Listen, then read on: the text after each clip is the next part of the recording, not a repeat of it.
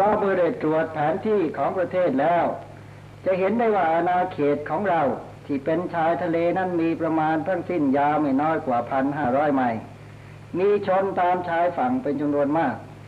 นี่เป็นเหตุประการที่หนึ่งประการที่สองทะเลเป็นขุมทรัพย์ที่ประเสริฐ ประการที่สามทางด้านทะเลนั้นย่อมเป็นทางที่ศัตรูมักเลือกเอาเป็นทางเดิน